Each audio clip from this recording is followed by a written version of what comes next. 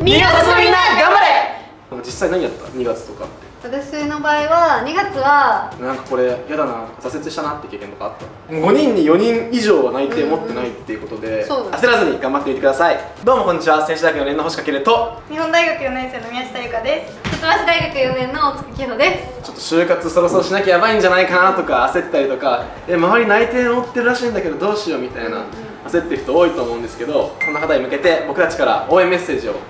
発信していきたいと思います。なんかすごいみんな焦ってるっていう話を後輩とかから聞いたりするんですけど実際ね私3人ともそんな内定早かったわけじゃないもんね。普通3月の末にうん。エントリーシートの締め切りがあるんですよ。うんうんうん。で本当は4月以降なんだよね絶対。内定もらえるとしたら、まあなんか早くなってるせいでそうだね。で僕は完全にそれだったんで、うん。初めて内定もらったのがまあ4月後半とか5うんうんうん。月だったから、まあ今の時点ではそんな正直焦らなくていいんじゃないかなと思ってますけど、いかがですか？私はそれこそ本当に4月はまだ就活してなくて今行く企業は6月頃に申し込んだ企業なので全然まだまだみんな前向きに頑張ってほしいと思います。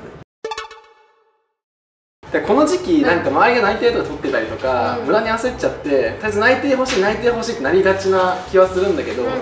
ぶっちゃけそれより大事なことあるなとか思ってて、うんうんなんかそういうのってあったりした？なんか実際何やった？2月とか。私の場合は2月はなんかもうほぼ毎日インターンに行ってたのね。ああだけどこちらも長期の行ったんだけえー、と 3days とか 4days のインターンが結構毎週あるっていう感じで、まあ、インターンに参加して結果的になんか企業理解とかすごくできたなって思ってて、まあ、ちょっと効率が悪い企業分析とか、うん。まあ社員訪問みたいな感じで、まあ、結論から言うと社員訪問と企業分ど、うん、結論から言ってない。いろいろ喋ってから結論から言ってない。まとめると社員訪問と企業分析は、まあ、やっててよかったなって。実際内定もらった後もなんかその自分の配属先とか話す時に、なんか今の勉強が役に立ったなって思うから、うん。まあ、もちろん内定っていう第一のゴールに向けて結構この時期にいろいろ調べておくっていうのは大事かなって思います。確かに確かうに、ん。インターンやってないぜ、まあ、どういかちゃんはどう？2月とかさ何してた？就活の前とか。2月は私は自己分析とか面接練習とか個人でやってたんですけど、企業に申し込んで挑戦するっていうことをしてなかったので、うん。何もやってなかったのかなじゃあ自己分析めっちゃできてる人になってたんだ。そうですね。あと学知化も頑張ってちょっといろいろ改善しようとしてたんだけあど ES 出してなかったから、まあ、一般的に見たら何もやってない人みたいな感じになっちゃってて、僕はあのー、2月はエージェントとかよくわかんない登録したんですよ、うん。そしたらなんか勝手に面接が入るじゃないですか、それをたまにやった。はいはいたまにやってあと逆求人とかさ今いろんなサイト登録していろんなとこ逆求人うん。その中でたまに興味あるところ受けててそれ以外はもう信頼よりにずっとああそうだね。ずっといたんで、うん朝から晩まで。だから僕はほぼやってないですね就活は、まあ、でも3月からエントリー締め切りになるんリース出すじゃないですかでその前に絶対2月やっといた方がいいなと思うのは OB 訪問時間ないからやってほしいのと、うんうんうん。あと ES 自己 PR とか口化とかは最低限書いとく。あ確かに。とかができるとめっちゃいいなと思うちなみにキーちゃんとかはさ、まあちょっと一橋っていうところもあってさ周りになんか内定持ってる人多そうなイメージあるけどうんうんうん焦んなかったの？あ焦った。あ焦るんだ。焦った。あそれ焦るんだね。コンサルとか外資とか受ける人はやっぱ年内に内定もらう人とかもいて、ああはいはいそういう人がやっぱまあ多くはないけど何人かいたからやっぱり、うん。そういう話を聞いて焦ってはいた。まあでもどっか受かるしなみたいなところあったの？まあ私は結構なんか割と最初からメーカー志望っていうのがあって、うん。日本日系メーカー。日系メーカーは、まあ、全体見た中でも遅い方うんだから私は大丈夫ってもう自分に思い聞かせてやってました。まあ、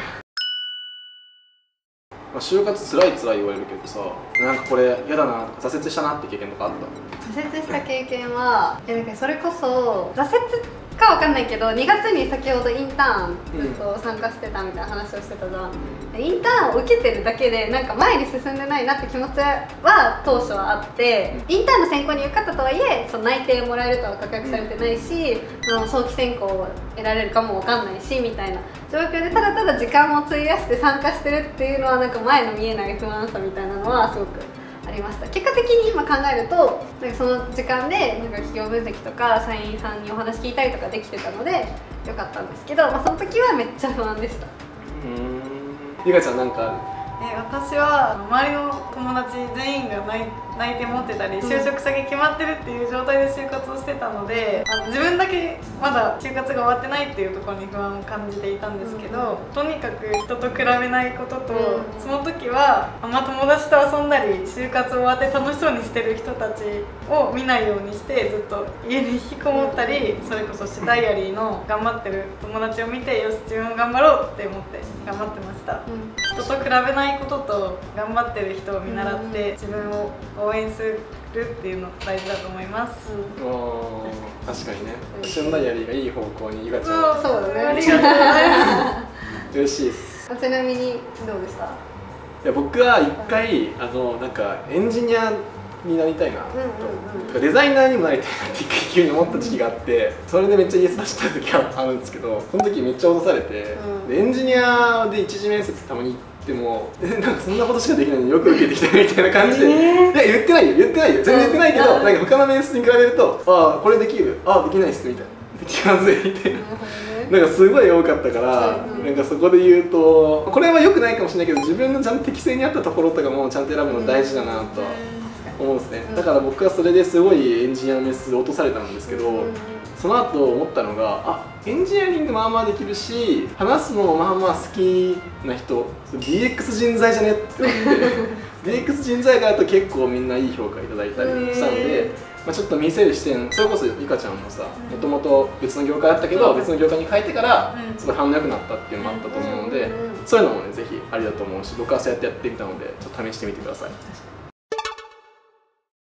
僕らはまあ年内に就職で、ね、内定決まったわけでもないしなんならめっちゃ遅い、うん。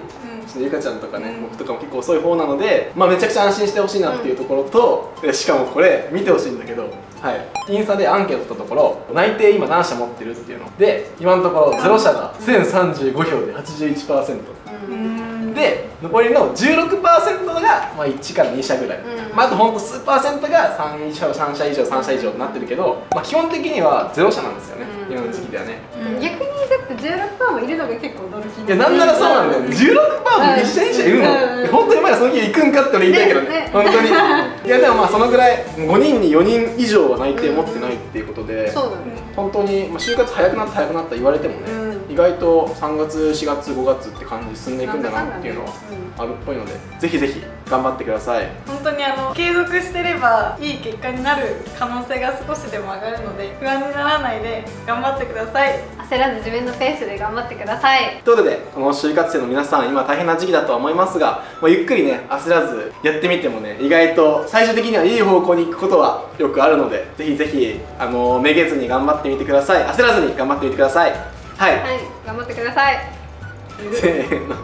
頑張ってください。ちょっと待って知ってるダイアリーのサイトではその企業から内定をもらった先輩のリアルな面接動画が見放題志望動機とか参考にできるじゃん。絶対にここでしか見られない。無料登録で今すぐ見てね。